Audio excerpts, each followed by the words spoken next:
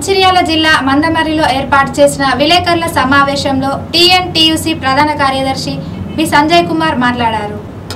TBGKS మరియు TRS party నాయకులు బాల్కసుమ్మను గెలిపించాలని కార్మికుల వద్దకు వచ్చి అడగడానికి మీకు సిగ్గు లేదా? పన్నెండు వందల యాభై కోట్ల రూపాయలు లాభం వస్తే యాభై ఏడు వేల రూపాయల బోనస్ ఇవ్వగా మరి ఈ సంవత్సరం పన్నెండు వందల యాభై కోట్ల లాభం కార్మికులకు లక్ష రూపాయల బోనస్ ఇవ్వకుండా మోసం చేశారు. టీపీజీకే సెలక్షన్లలో ఇచ్చిన హామీలు దరఖాస్తు చేసుకున్న ప్రతి కార్మికునికి డిపెండెంట్ ఉద్యోగం ఇస్తానని కార్మిక లోగాన్ని గందరగోళం చేసి మోసం చేయడం జరిగింది.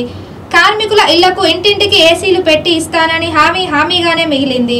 సింగరేణి ప్రాంతంలో నివసిస్తున్న ప్రజలందరికీ ఇళ్ళ పట్టాలు ఇస్తానని ఊసే లేదు. డిస్మిస్ కార్మికులకు అందరికీ న్యాయం చేస్తానని వారి యొక్క ఊసెత్తకుండా మోసం చేశారు. మారు పేర్లతో పనిచేస్తున్న సింగరేణి కార్మికుల పేర్లను క్రమబద్ధీకరిస్తామని ఇంతవరకు ఒక్క కార్మికుడు కూడా న్యాయం చేయలేదు. వడ్డీ లేని పది లక్షల రూపాయల రుణం కలగానే మిగిలింది. ఈ కార్యక్రమంలో తెలుగుదేశం పార్టీ నాయకులు కార్యకర్తలు జక్కుల సమ్మయ్య వాసాల సాగర్ ముద్దమల్ల అజయ్ కుమార్ బిరుదు మహేష్ రామగిరి శేఖర్ చిప్పకుర్తి సుధాకర్ మహంకాళి సతీష్ రవి మరియు తదితరులు పాల్గొన్నారు. టీపీజీ కేస్ మరియు టీఆర్ఎస్ నాయకులు మళ్ళీ ఏ ముఖం పెట్టుకొని బాలక తీసుకొని వచ్చి ఓట్లు అడుగుతున్నారో సింగరేణి కార్మిక ప్రజలకు అందరూ చెప్పాలి.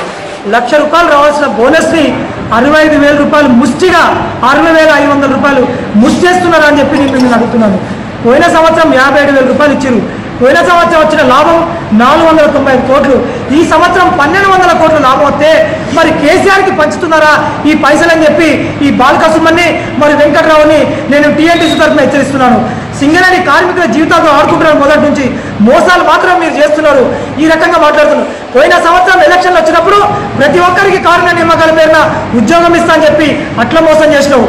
పది లక్షల రూపాయలు వడ్డీ లేని రుణాలు ఇస్తా అని చెప్పి అట్లా మోసం చేసినావు. ఇప్పటి వరకు ఒక్క సా- కార్మికుడు కుటుంబం ఇంట్లో ఏసీలు లేవు. మరి దానికోసం కూడా ఆ కార్మికులను మోసం చేసినావు? అదే విధంగా సింగరేణిలో కట్టుకున్న ఇల్లులు ప్రతి ఒక్కరికి ఇళ్ళ పట్టాలు ఇస్తా అట్లా వరకు ఇళ్ళ పట్టాలు ఇవ్వలేదు డిస్మిస్ కార్మికులకు న్యాయం చేస్తా అని చెప్పి పాపం వాళ్ళని పట్టించుకున్న నాదు లేదు ఈ రకంగా ప్రతి ఒక్కసారి మీరు కార్మికులకు దొంగ మాటలు చెప్పి నేను కాలు మొక్తా కేసీఆర్ కాలు మొక్కి మీకు న్యాయం చేస్తా అని చెప్పి మాట్లాడుతూ బాలక సుమన్. నీ కాలు మొక్కే ధోరణి ప్రతి ఒక్కరికి తెలిసిపోయింది.